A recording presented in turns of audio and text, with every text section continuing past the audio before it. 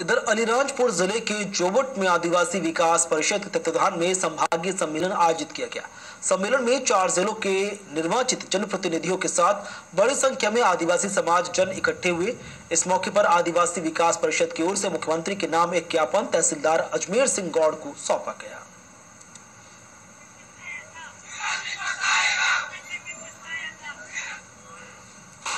आंगनबाड़ी कार्यकर्ता सहायकों ने एकजुट होकर मध्य प्रदेश सरकार के खिलाफ काले झंडे और काली पट्टी बांधकर विरोध किया।